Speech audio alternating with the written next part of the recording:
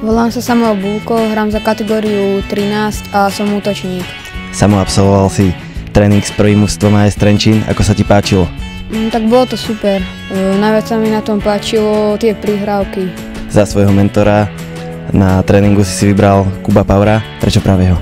Mm, lebo je technický a rýchly. Nečakal si, že sa ti dostane tohoto ocenenia hráča mesiaca? Čakal som a potom som dúfal, že budem, lebo som sa zlepšil na tréningu. Ďakujeme za rozhovor a nech sa ti darí ďalej. Tak samo Bulko, šikovný hráč. No, Samozrejme všetci sa tešíme, že ho tu máme a veríme, že z neho bude dobrý útočník. Jeho hlavnými prednostiami by som povedal je taká, je taká zdravá agresivita, je to ťahový hráč, veľmi dobrý ťah na bránu. Samozrejme je tímový, dokáže vytvárať situácie pre mužstvo a je, je to gólový hráč, takže samozrejme no, do budúcna je to veľká devíza pre neho.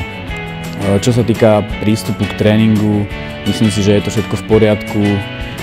Tam celkovo ten ročník je v tomto veľmi dobré a tam nevidím žiadny problém. Má všetky predpoklady na to, že môže z neho vyrásť dobrý útočník. Už len to, že dokáže strieľať góly, je pre neho veľká devíza pre, myslím si, že každý útočník je zaujímavý tým, že je gólový. Samozrejme všetci mu prajeme, aby sa ďalej takto rozvíjal a verím, že raz sa budeme na ňo chodiť pozerať na ligové trávniky.